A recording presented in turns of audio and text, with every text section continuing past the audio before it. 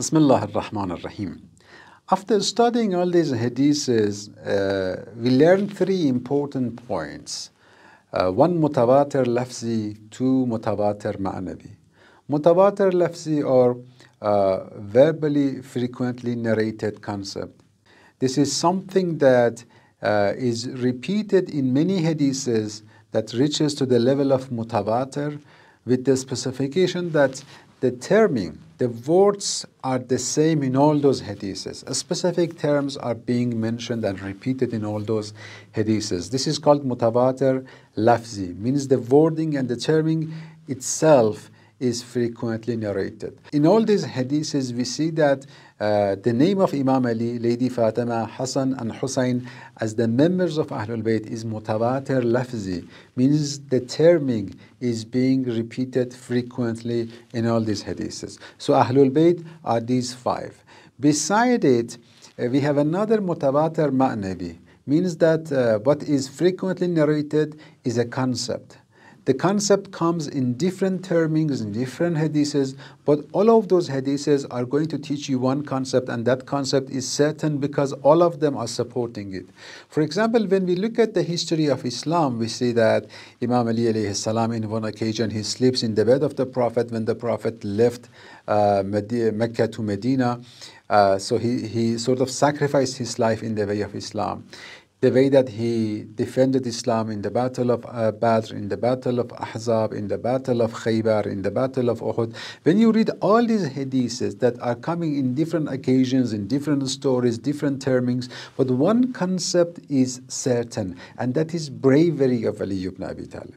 So reading all these pages of history, uh, you learn something that Ali was a brave person, and this concept is frequently narrated. The terming is different, but the concept is mutawatir. This is called mutawatir ma'navi.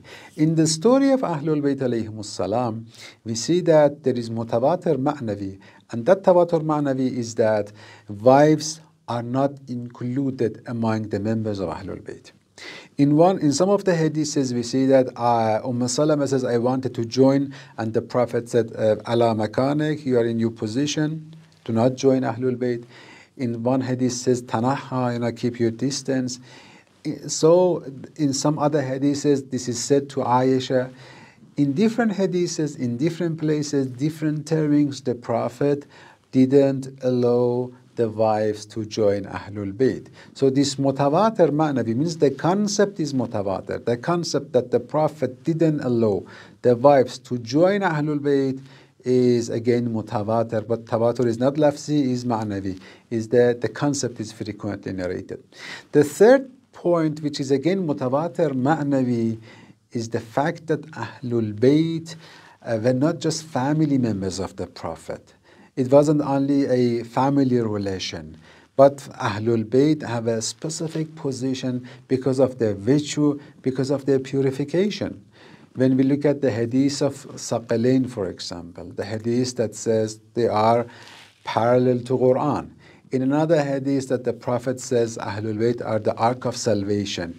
So when we put all those hadiths talking about Ahlul Bayt, that Ahlul Bayt are the source of knowledge, Ahlul Bayt are so and so, when we put all those hadiths about Ahlul Bayt alayhim salam, that the Prophet for six months goes and says salam and calls them uh, Ahlul Bayt and says, إِنَّمَا يُرِيدُ اللَّهُ لِيُذْهِبَ عَنْكُمُ الرِّجْسَ أَهْلَ الْبَيْتِ When you put all these hadiths together, again another mutawatir ma'navi, another frequently narrated concept will be formed, and it is that Ahlul Bayt are a specific people with a specific position. And bearing that position in mind, again, it helps us to understand that wives cannot be included among Ahlul Bayt.